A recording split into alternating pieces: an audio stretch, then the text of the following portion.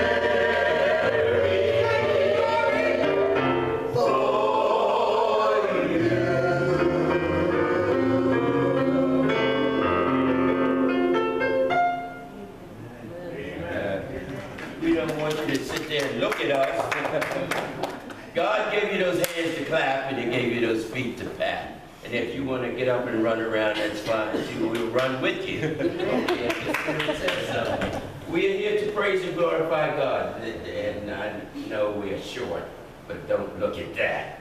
Just lift your hands and glorify God. Amen. Amen.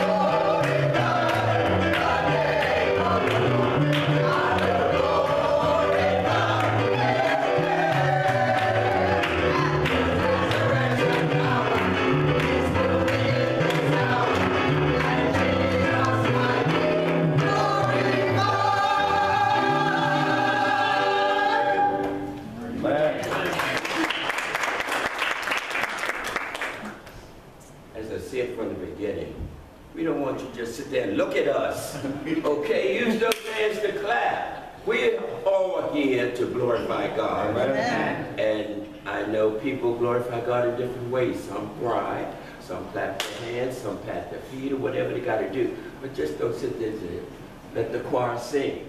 We're all here to glorify God. Amen. Children of God. So give him glory, give him honor. He didn't have to wake you up this morning. Yes. You know, look around the world, and see what's happening, the fires and the flooding and everything. We are blessed. Amen. We should be glorifying God to the highest this morning. Not just sitting there looking at us. It's not about us. It's about God. Amen.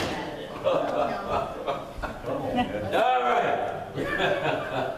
Let's do another number, then we'll do something else. Amazing grace. And you can help us with on the end. Just follow the twist.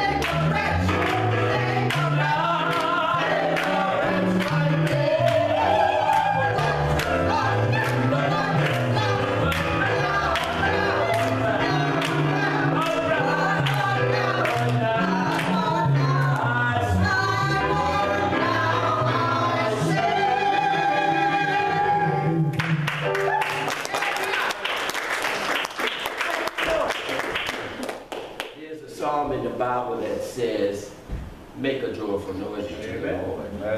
Are you familiar with that? Yes. That's all I'm gonna say. We're gonna turn it over to the pastor right now. Go ahead.